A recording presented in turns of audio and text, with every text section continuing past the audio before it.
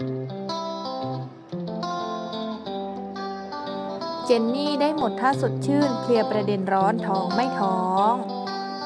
หลังจากที่ล่าสุดเจนนี่ได้หมดท่าสดชื่น เจอกระแสข่าวลือข่าวเล่าอ้างว่ากำลังแอบมีเบบีงานนี้ร้อนถึงเจ้าตัวต้องออกมาชี้แจงแถลงไขว่า สรุปแล้วท้องหรือไม่